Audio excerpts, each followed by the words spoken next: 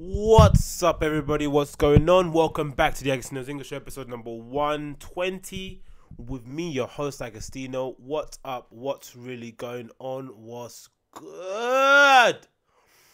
Hope you guys are well, well rested, well hydrated, well lubricated, and limbo or loose, agile. You know, you got your mobility back on. I know I'm feeling rough as two feathers specifically because I came back from a little run this morning, and Pacific, and um, alternatively because I had a bit of a long weekend. Um, not very much a party weekend, but much of a you know just hanging around and um, recovering from like Friday and Saturday's events. But so far, so good. Today started off really well. Nice fresh run, nice healthy breakfast, and I'm here sitting in front of this little tiny camera and talking to you lovely people and through this lovely microphone. So I hope everyone's well. I had a nice weekend. And yeah, let's get right into it. Ah. So this weekend kind of brought to a close my four week uh, back to back to back to back to back playing at um, Tapis. I think this has been the first month that I've played like every single weekend in um in a month, right? Um, in any given month, so every single so every single Friday of the given month, right? So um, specifically for October. I played every single Friday at Tap East. The other months past, I've had a couple holidays in between. The other um, Natalia, aka Afro Musa, she's been away some couple of times, and there's been times when I've not been around.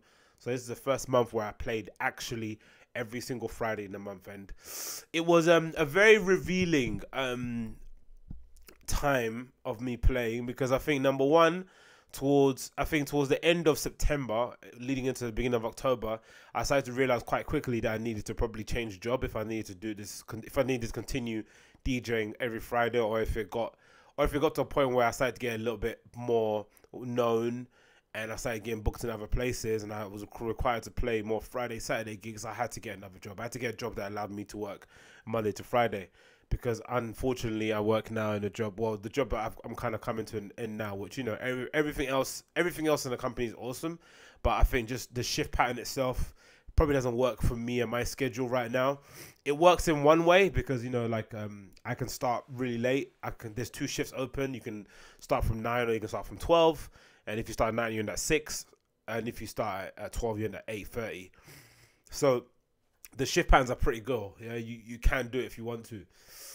But um for me, if I'm working, if I'm DJing on a Friday and Saturday, doing shift work, which means you'll have to leave yourself open to working on the weekends, just isn't gonna be something that can be sustainable. I can do it for like six months, but if it any longer than that, I'll start to break. And even within those six months, there might be cracks showing in my mental psyche that kind of popped up in the last few months. So if anything, I'm quite thankful that I was able to like you know um, go through a sucky time, and but then realize what I need to do because sometimes you know it can be hard for people to realize what the next step is when they're not doing anything, right? Because sometimes the best decisions are made off the back of a shitty experience. Sometimes in life, that's what usually happens, right? You go through a shitty time, you meet a shitty person, you do a shitty job, you go to a shitty place, and you realize, you know what, I'm not gonna go back here again. You might not know what you like, but you know exactly what you don't like. So now that I've kind of figured it out uh, onwards and upwards, so that's been pretty revealing. So it's kind of allowed me, it's kind of forced me to change um, kind of career paths or occupations for the most part. Let's say job, let's say not career path. I'm not looking to like stay in these places for a gazillion years, but let's say it made me change my occupation, my nine to five. And it also allowed me during this kind of um, transition from like going from DJing every other week to every week. It also quickly made me realize how quickly it made me realize how essential it is to play out in front of people because I was for a long time when I wasn't getting booked regularly and I was playing like you know incrementally. I don't know. It was a bit sporadic. I was playing maybe once every two or three months. I had this kind of thought in my head that oh, as long as I'm practicing at home and I'm doing DJ and I'm kind of recording my DJ sets and uploading them onto SoundCloud, Mixcloud, whatever it may be, then I'm fine, right? I just needed what I basically used to do was I used to kind of like go online. I'd kind of scour the different forums and different kind of websites like Juno and all those kind of places Phonica Records, blah blah blah. Look for some of the biggest songs that are playing that on that kind of week or in that kind of month, and basically make a compilation and then put that into a mix and upload it, right? So just to show that you know I can play what's happening currently, I can play old shit, blah blah. blah. Just kind of show my range. But um, now I realize that you know club mixes or in situ, like in the actual environment that you're meant to be in, are completely different than when you upload online. like completely different. It's like it's like night and day. It's it's essentially like you know when people say about footballers when they say they're not match fit. What they they don't mean that a person's like overweight or that he needs to lose ten pounds or whatever. It means that he's not got the match sharpness, right? He might he might have played a gazillion under 23 games. He might have gone on loan to another club, but he's not match fit for that particular club on that particular level. He needs to kind of get acquainted to how it is to play at that pace with that, you know, with the lights on you, with the scrutiny, with people shouting, and a game that actually matters, right? Because if you're playing reserve games, they, they, they matter, but they don't really matter in that respect. So sometimes there is a there is a kind of um uh in club fit, right? Club fit kind of sort of thing, right? Um where you haven't been like and I noticed in the beginning where I was quite rusty, I kind of got a little bit flustered sometimes when I was playing or a mix clanged or I picked the wrong song or like yeah, I mean you get a bit flustered, but now having done it every week, I don't get flustered anymore. I just ride out the mistakes. Okay, cool, no worries. I, I can recognize this later. Do you know I mean? It led me to an interesting path. You kind of get less nervous. You hear a lot. Of, I hear sometimes a lot of comedians say it too, where they kind of say in the beginning you get really nervous of silence you don't want to you don't want to have any silence, any like pauses. Um, you don't want to say um a lot. You get a, you just you just start worrying about the wrong things. But the more experience you get as a comedian, you start to kind of bask in the silence because you're you're showing the crowd that you're in control. You know what I mean? That you know exactly what you're doing, even when you don't know look like you know what you're doing. You know you try to act like you do, and that's essentially what I was doing.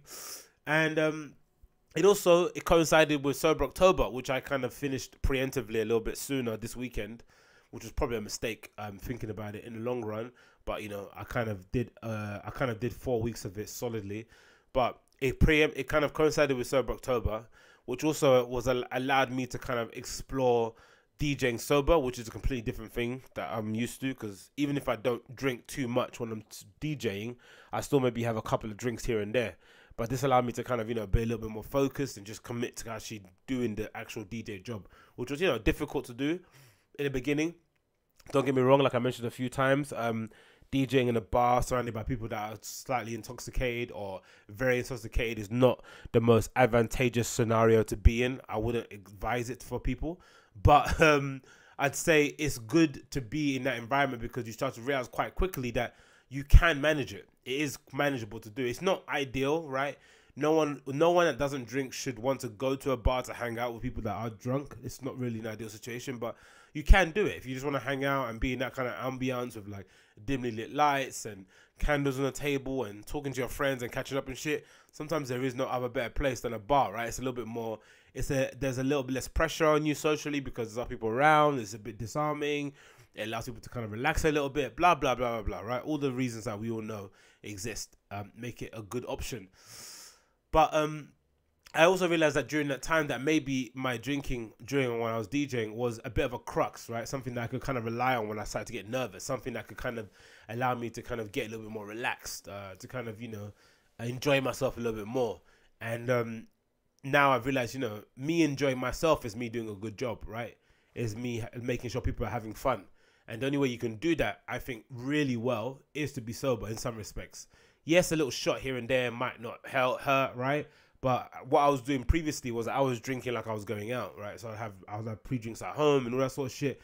And it doesn't sound, it doesn't, it sounds crazy, but when you're doing it, it doesn't sound that nuts, right? Because you have uh, some drinks at home and you're preparing your mixes or you're putting together a playlist and you're uploading your USB, whatever it may be, and then you head out.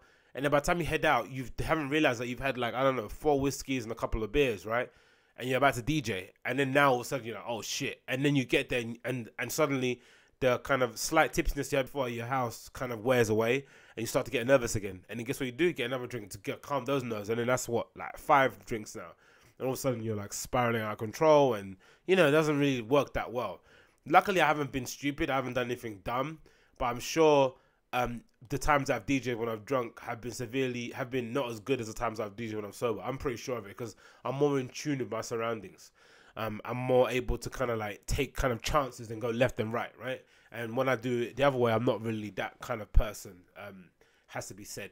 So that was really good, and I really enjoyed myself. I think in general, I think it was such a, it was really fun. I have to be honest, it was really really fun to DJ every week. Um, have the opportunity to play don't really care if it's not that much money. Don't really care if it's not that many people that go there. I just think for me personally, selfishly, having been a big fan of underground electronic music, having promoted parties for years and years back in the day in Dalston, and kind of did a bit of DJing beforehand, but that wasn't really to anybody because I used to do the Alibi set from like I don't know not eight to like 10 or 11 when people got there so i kind of missed out on people actually listening to my music that i'm playing which was annoying but having done all of that stuff it's quite nice to kind of get the opportunity to kind of flex my DJ muscles and you know I think I have a I think I have a point of view I think I have a sound that's a bit different than everyone else is playing out there.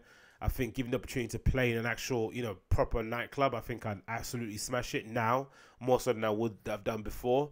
I think I'm probably a lot better than most people that have you know are commanding high fees or who are generally surviving being a DJ and playing in you know, de- decent places. I think I'm a lot better than most of them. I'm probably a little bit more dynamic, a little bit more um, interesting overall. But you know, it's a it's a process. You know, you just have to kind of like grind it out, do your sets and reps, and slowly but surely you kind of get. I'll kind of get where I need to get to. But at the moment, I'm loving it for being a hobby that people are paying me to do. Like it's such a privilege to do. To be honest, um, having a hobby that involves other people and bring the smile to their face and making them dance and also being paid for it. Like it's a nominal fee, you know. It can it can cover an Uber and maybe a few drinks later when I go out or something, or it can cover a meal on the way home. So it's not you know it's not fucking crazy money, but it's good to be compensated that sort of stuff and to have an opportunity to play some music. I'm all for it. So yeah, it's been an interesting um, experience, but something that I really really savor and something I'm super fortunate I got an opportunity to do.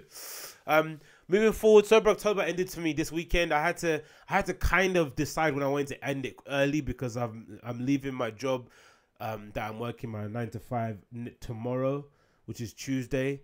So um, effectively, that will be a day before Sober October, which is on the 31st, and I just didn't want to be on my leaving party telling everyone I'm not drinking and then having them ask me a million questions. I just, you know, it's just annoying, like socially. Like if, anyone has been in that situation, you know how annoying it is. So I kind of had to decide where should I, should I do it this weekend on that. So I just decided to do it on a Friday, which was quite cool. I just drank on a Friday and that was it. I didn't drink on a Saturday, which again, I think that it shows the the power of doing sober October and maybe the power also of like doing a diet but having no cheat days. So trying to do a diet for the whole 30 days it shows that what happens is that when you didn't do a cheat day, number one, you obviously the, the food doesn't taste as the processed food doesn't taste as good as you think it does, and then you don't end up eating as much as you thought you would eat. So I I drank on a Friday. I had a couple of drinks on a Friday, not that many. Uh, maybe uh, maybe about four in total. So I had a couple of whiskeys, no, a whiskey at home, a couple of whiskeys in the bar, and then a whiskey again at Fold, and that was it. So about four drinks, I think, overall in total. In total, so much so that even on the way home, I was a bit tipsy, and I bought some beers on the way home, or a couple of tins of beers, and I didn't even drink them. There was, a, and they're still there in my fridge. So I mean, that shows like the kind of development I've made over the because the, those drinks would have got finished on Saturday when I was watching football, or on the Sunday as well. So that didn't happen. So yeah, I ended up finishing sober October on the Friday. Took a couple of drinks and um, yeah, it's it's been pretty good. Like and again, like I said, I think it's made me more if you just to try out doing a diet for 30 days without a cheat day and then see how you feel afterwards because I usually do a five a, let's say six days of a diet and then I do a cheat day on a Sunday or something or on a Saturday or something. So I kind of do that kind of spread out. So Monday to Friday kind of stick to your diet and then kind of go crazy on Saturday and then kind of go back on again on Sunday. Um, Saturday's not as crazy as it is as it as, as it seems. Like you I try and have a good breakfast in the morning so a couple of scrambled eggs and some bacon or some spinach, whatever it may be, and then I'll have like for my lunch, for my sorry, for my lunch or dinner, then I might go and get a burger, I might have a pizza, whatever it may be. But I try not to have a cheat day, try to have like a cheat meal, so I don't, you know, lose, so I don't um, end up um, binging too much. But yeah, um, I could have probably got away with not drinking on the Saturday and just done it on the on the Tuesday of my last day at work because overall it, it didn't kind of pan out to be the night that I envisioned overall. It was good, don't get me wrong, but it didn't kind of go the way I thought it would, like going out and getting fucked up. I wasn't really in the mood to do that, I think. Um, I don't know why. I'm not too sure why, but overall, um, yeah. So I, I went. What did I do? Oh, so Friday DJed, which was pretty good. Good set on D on Friday quite a lot of people came out. I'm assuming because it was payday and everyone was out after work having a drink, and it's kind of cold, so people just want day man staying inside the bar for a bit and having a bit of a good time. Then I decided to go to Fold to see Baba Stiltz play, and Fifi Claire and all those other people. It was really good, man. Um, it was a bit of a bummer that. so about the overall night, I got to fold at like about one, I think, after I finished kind of packing up the stuff at um um at tapped at Tapi, sorry, and then getting a, a fucking Uber over over there. I got got there about one. Ended up having to queue for about twenty minutes. It was really cold. I don't know why they made us queue because by the time we got in, there was hardly anyone in there. wasn't It wasn't full. It wasn't empty, but it was like kind of like three quarters of the way full. So if you've ever been to Fold, the it was full up until the door. It was it was packed up until the door that leads to go to a smoking area. So the bit from the smoking area all the way to the person that does the sound was kind of completely empty. You could you could basically like you know swing, a cat and you wouldn't hear anyone. So I got in there and Baba Stiltz was playing. I think he played from like I think he played from like one till four, or one till or twelve till four. One of those. One I think it might have been twelve till four. So when I got there, he already started playing. He was playing a really deep, a really um eclectic, not deep. I said really eclectic, like housey sort of sound, like the kind of stuff that you know the Babs was to play. Um, kind of similar to his boiler room sets. Um, very um, very sort of melodic, deep, um, because deep dark sort of like house kind of sounds like you know what I mean. So that was really good. See him do his textbook like you know what I mean. Um, mosh pit, shaking his hair all upside down, left and right. Uh, very very good set for the first couple of hours, and then he took a really fun, interesting, weird turn and started playing loads of hip hop, loads of bashment, which was fucking cool to see. So sometimes you get a lot of those some surprises. I remember someone telling me one they went to see Loco Dice play at Ibiza or something for an after party, and he was playing like a super hard techno set, and then he noticed there was loads of lads around, like I don't know, like boys from like you know the Enzo around, um, when they were like you know, I mean, skank and having a good time, and he just dropped a milli on them. Do you know I mean? And they went absolutely nuts. Like that kind of ability to kind of like take a left turn and kind of pull another group of people inside the party. That was fucking cool. So he managed to do that. Um, it was funny again seeing you know a bunch of uh, Caucasians trying to dirty wine all that stuff. That was quite interesting. Um, but yeah, the the Bashment was really good. but interestingly, he started playing Bashment to intro his Bashment set. He played um, Playboi Carti, Poke It Out. Uh, featuring Nicki Minaj. That was a fucking awesome. So I was like in the toilet, like, dun, dun, you know the beginning of It Out. Bad bitch, uh, uh, book it out, book it out. Da, da. So imagine after the, all that house and techno things in the beginning, he then switches and plays that to bring in a bashment. I was like, wow, masterful. So as you can tell, I wasn't as fucked up as I as I intended to be because I remember quite a lot of the set. I was kind of like chin stroking, and I was trying not to be a chin stroker on, the sides because I know that image people don't really like. Or people that go to um, nightclubs and just watch the DJ play and kind of write down his track list. But I was trying to have a mental note of the kind of turns he was taking, because he's like a professional, so he kind of gets paid to do this. So it was interesting to see like the kind of guts or the guile, the confidence it takes to kind of like play a house and techno set in that environment in Fold, which is a very you know a dark, a, a kind of an English version of the Berghain. Um, and then he kind of decided, you know what, fuck it, let me play some hip hop, let me play some bashment, let me, let me play some. You know what I mean? He took some, he took some really, really good risk in there. So that was really good to see. And then by the time it hit four and everyone else started to play, everyone basically left for the most part. And by eight five or five thirty, it was completely empty and no one was around. Man, it was kind of yeah, I guess Obama, man. If you're a DJ playing right at the end, no one was there. Everyone kind of left, and I think it was a girl that was playing. I'm not too sure who the girl was. Um, she was playing towards the end, a blonde girl, and there was really no one there to see her play. Um, between like five and six, and the night ended. And then yeah, um, I, I, I spoke um briefly to somebody at Fold who was kind of like you know part of the crew helping out and stuff, and I was wondering because I I've, I've been checking for um, events page on Resident Advisor time to time. I've noticed there's not been that many 24 hour parties, right? Because when Fold launched, it was billed as a London's new 24 hour venue, right? So I went to the opening of Fold and it was fucking amazing. They they did a good job of inviting like some of the biggest promoters from London to come and DJ like an hour or an hour and a half um, there, and they play some of the best stuff I've heard in a while. Everything from trance to gabba sort of stuff, uh, electro to house to techno. It was insanely eclectic. Um, so that opening night Fold was probably one of the best parties I've, I've been to in London overall, especially for an opening of a club. The atmosphere was electric. Everyone was kind of in there celebrating the, the dawn of a new era. But there was also some criticism when it after the party finished, with a lot of people saying, um, which was true, kind of evidence to the night that because they had so many other DJs playing there, it was a bit messy. The set list, right? It was. It went. It, it went. There was too many swings. There wasn't a kind of common theme running through some of the people playing, and they were playing for too short, uh, too short of a set. Blah blah blah. And then as a as the kind of um, programming of Fold evolved, it kind of transpired that maybe they were relying too much on promoters to bring in a crowd and not the club itself. So they were kind of relying on promoters to kind of bring people into the venue, which then would lead to the programming being a little bit scattergun. Because you know you're just getting people in that are gonna bring bodies into the actual space, um, which doesn't maybe necessarily fit the overall vision long term. And that's what um that's what uh, Berghain and places like uh, places like the school in Amsterdam do a good job of doing, right? And Robert Johnson in Frankfurt, where um, you go to the club first. Even Fabric in London has a good reputation of that. You go to the club itself, and then the DJs come second. Even a small example, mini, mini, mini example will be Visions and maybe Alibi, right? Visions, you knew exactly what you're gonna get. It says exactly what it says does the tin. Like you know you're gonna have hip hop. For the most part, even Living Proof, I don't think people go to see Snips or Rags play, right? I don't think people give a fuck what who's gonna be there. They just know it's a hip hop party. It's one of the best hip hop parties in London.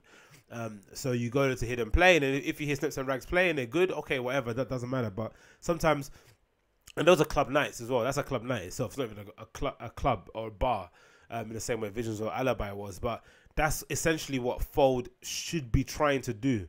Now, that's me speaking from the outside looking in. I'm not an expert. I don't know anything about uh, programming a club or establishing a club, but in order to kind of for it to last, in order to kind of build an actual reputation that people can kind of trust and go in week in week out, especially being in the middle of Canning Town, which is probably a little bit far for most people, I think it does need to have a programming that kind of like you know is just like the best programming in London um, for the most part. But you're going to see you're going to fold. You're not going to go and see a DJ or a promoter play. If you look through the listings on Resident Advisor, just look at the pictures themselves. They're all different artwork. Different artwork essentially means it's a, it's a different promoter. When, whereas if you go to Berghain Resident Advisor page or you go to um, Robert Johnson Resident Advisor page, you'll see the same artwork during the month or during the week, which then kind of like and then when you click on it, you see it's a theme, like you know, Robert Johnson presents blah blah blah, where they get a where they get certain DJs in to kind of curate a certain sound. Now it might be that they're getting promoters to kind of they might be it might be Robert Johnson or Berghain fronting the lineup, and then they got promoters actually programming it, assessing the people. But that's what that it, that's even a better option because then at least you get the pro the promoters to kind of program the months programming, similar to what um, London Warehouse um, projects or London Warehouse um, Entertainment, whatever LWE did with uh, the Printworks when it first opened. If you look at Printworks when they first opened to the lineup now, the lineup when it first opened was a little bit more, it, you know, there was a little bit more to it than what it is now. Now it's a bit bait. But before, you could see that, you know, London Warehouse Projects, London, those people do the warehouse people, they did a very good job of programming that lineup and they kind of picked people that kind of fit the space and there was a kind of theme to it. You kind of made sense from the last week to the previous to the week coming up.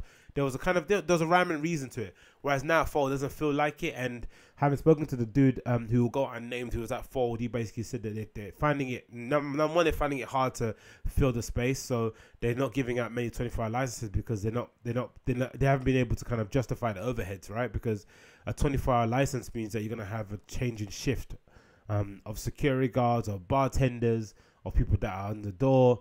So you you can't necessarily do it if people are not actually there in the club, right? Because you're not gonna you don't have enough money. You don't make enough money at the bar to pay the staff, which is annoying, right? Um, so that didn't happen, and um, so now they've got essentially they've got I think they've got one license a month for 24 hour club, but they haven't used it in a while because no one's been able to guarantee the numbers. So that's been a bit sad. I'm assuming it's going to be a lot better at New Year's Eve. I'm assuming they're going to have a probably a good party there, but still they haven't announced anything. And you know we're already heading into November, and there's nothing been announced. So that was a bit of a bummer to see like how empty it was, especially considering how popular. Or maybe again, I don't know if it, Baba Stiltz is like a, you know, a lot of those DJs, a lot of people in general are quite popular on the internet, but don't necessarily um, translate in real life. Uh, rapper, a rapper called Desiigner is a good example, right? He had a he had a one he had a big hit in Panda, and then couldn't really replicate it because he didn't really have a fan base. And then when he did finally put out a project, it was quite underwhelming, and you know the fans that were there kind of ditched him for the most part. So he's not someone that's gonna fill an arena or sell out tour dates. So maybe Baba Stiltz isn't as popular as I thought it would be, but I think he was quite. To be honest, there was quite a lot of young people out there who came, who made the effort to go out and see him play in the middle of Canning Town. I'm sure a lot of those kids don't live anywhere near Canning Town, so they made the effort to come and see him. So I'm sure Baba Stiltz is popular, but you know, I was I was a little bit disappointed to see how empty it was overall. Um, I'm not sure if the clubbing community or people that are interested in electronic music don't have necessarily grown up and don't really care about going to nightclubs anymore.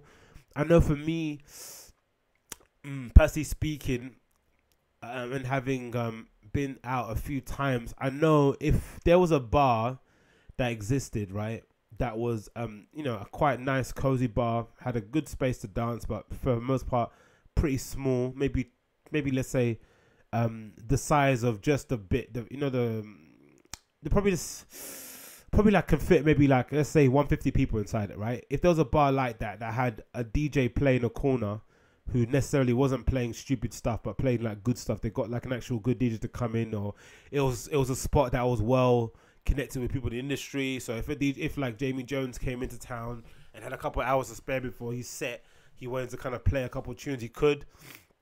It was like a cool space to be in, right? And you kind of promoted local people and stuff. Um, I would probably go there as opposed to going to like a national nightclub, right? And you got to know the owner and you can have a lock in afterwards. That would probably be a bit, bit, a bit more fun. So maybe there's a more people, there's more people out there who kind of have the same thinking as me.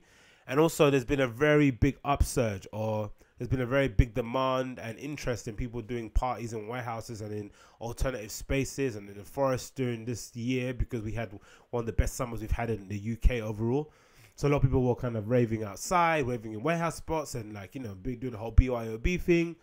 So that was that was something that kind of took a hold, especially off the, off the back of the whole Hackney licensing law stuff, right? Where loads of bars and clubs within the Shoreditch and Hackney area were, um, especially the new ones opening, were required to close at I think twelve during the weekends and eleven during weekdays. So which kind of effectively crushed a lot of their business, and uh, maybe dampened a lot of people's hopes uh, of London becoming a real 24 hour city. So I do remember the guy at Fall Pacific is saying that London isn't ready quite yet for what they have, which makes sense, right? I'm not someone to shift. I, I don't like the whole shifting blame, saying, oh, the customer doesn't get it, but there is something about London not getting it just yet, right? There is an idea that, you know, kids going there already quite smashed. Um, not kind of pacing themselves and then you know not really understanding what a 24 hour party is about um, and just generally, you know, this the kind of culture overall of like having DJs play one hour sets or two hour sets. You know, you need someone to kind of play a little bit longer. You need the crowd to kind of trust the DJ. Blah blah blah blah blah. So again, um, that's what kind of led to the weekend being a bit of a bummer. And me thinking, you know, I probably could have got away with not drinking on that Friday and was doing it on a Tuesday, uh, day before Sober October ended. But you know, you have to make your decisions and kind of live with them at the end of the day. But yeah, that was it. Fold maybe isn't going as well as it probably should have. Maybe it needs some more time to kind of grow and mature. Maybe some punters need time to kind of you know um, adopt it and kind of you know give it time as well to grow and trust it and kind of back it maybe they're doing a wrong job in terms of hiring promoters to curate the nights and not kind of bring it in in house and having themselves kind of program nights and maybe they don't have the money to do it. I don't know. Blah blah blah to hire the DJs, but hopefully soon we kind of see a change and they kind of do end up um, being a bit more of a success going forward. Um, I'm really fingers crossed. I don't want, I don't want, I don't want it to close, man. But yeah, it wasn't as full as I intended. I hoped it would have been. But yeah, um, apart from that, pretty decent weekend. I think um, what else I need to? Sw- oh, one more thing before I decide to call this a day. I saw this actually, and I thought this was quite cool. So, this is a bottle designed by the legendary designer um, Philippe Starck. Right, he designed a beer bottle, which is I just saw this on Hypebeast this morning called uh, Starck uh, Sark beer. So S was Starck beer basically for the most part so um, I, I, like the design of it. I remember when I was in university and I was doing a product design at Central St. Martin's. I remember we had a project that I really got enthusiastic about. Which I think we had a design project um, to, for, for Heineken to redesign a bottle. I think they do it every year. It's like a student thing. And I really like the idea because I remember that I was during a time when I was going to a lot of the Thursday um, gallery openings sort of thing, right? Where they have give you free drinks and free beer. And I remember, and I remember just thinking, um, like a designer and trying to think what would be a good idea in terms of a bottle design, right? Um, that would work well in that kind of scenario because you need a bottle design that you can kind of you need the design of a bottle that isn't too big where um, you, you need something that's not too big where you're kind of cumbersome and you can't really move around and look at the artwork.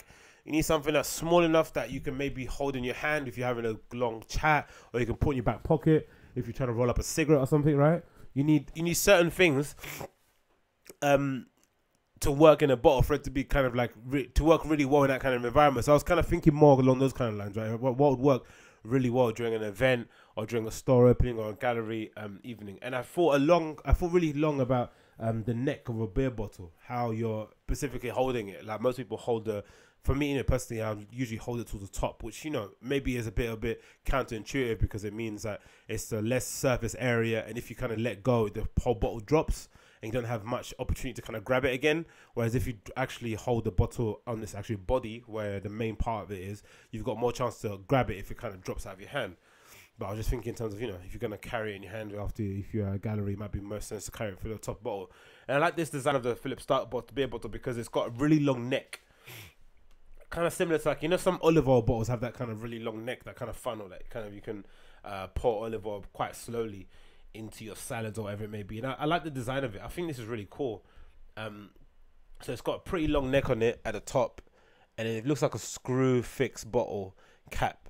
But again, I just like overall design of it ergonomically. I think it works really well and kind of reminded me a lot of the design I did in school. I'm not saying Philippe Starck stole my design, but I'm not saying he might have not become inspiration from it. You know what I mean? No, but yeah, I like the design of it. I think it looks pretty cool. Um, it's available now. I think to purchase, right? It's quite fairly cheap. You can buy it now at the Brasserie d'Olt web store, and it costs ten euros for three bottles. So a pretty cool bottle.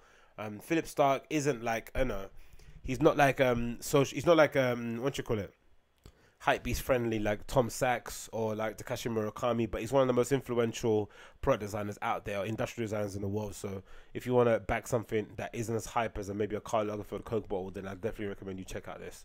Super super cool. Anyway, this is a nice short and sweet one. I'm gonna come back again later for a longer episode, but thought I'd kind of get this in there quickly. Um, there might be a bit of a lull in episodes, episodes actually as I'm moving between Joker. I've actually fixed my actual own laptop to kind of record these things on, and if not, I'll just maybe record the audio version of it and upload that instead. But this has been the Agostinho Zinga Show episode number 120. Thank you so much for tuning in as always. For more information regarding moi and all that malarkey, contact uh, pages and next DJ gigs and blogs and all that malarkey, uh, please check out my website, which is in the link below, which is agostinhozinga.com for all those nice infos. Support my uh, my podcast sponsor, which is Audible at audible.com forward slash Aggie. You get one free book credit and a 30 day free trial. You get to choose from over 400,000 titles. 400,000 book titles, most of them are narrated by the actual author themselves, so it actually allows the book to come to life in your eardrums or through your Bluetooth speaker or out of your phone, however way you listen to it, I recommend you check out my sponsor, audible.com forward slash A-W-G-G-Y. And I'm going to check you back again on the other side very, very soon. Thanks for tuning in, tuning out. Peace.